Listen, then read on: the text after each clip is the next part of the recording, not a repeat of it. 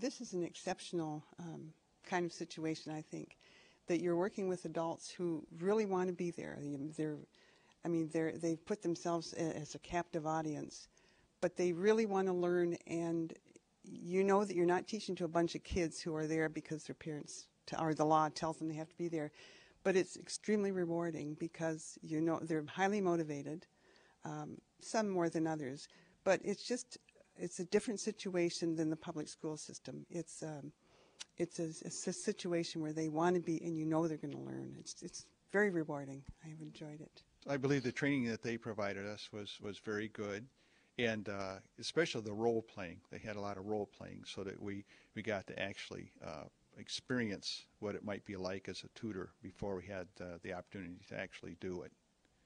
Uh, about the training, I I did have apprehensions um, because you know my my area of expertise was not English grammar or any such, but we did have a I think it was a two day was it a two day seminar, and uh, they gave us the the techniques and um, approaches, and really I found that very helpful.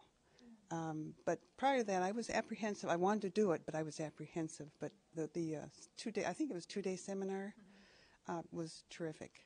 It gave me confidence in, um, in, direction. Even if a person hasn't taught before, I would say just dip right in and put your, you know, just dig right in and do it because the between the orientation that you have and uh, the support that you have from the literacy people uh, is they were terrific. And so I'd say if you have a, if you have a desire, do it.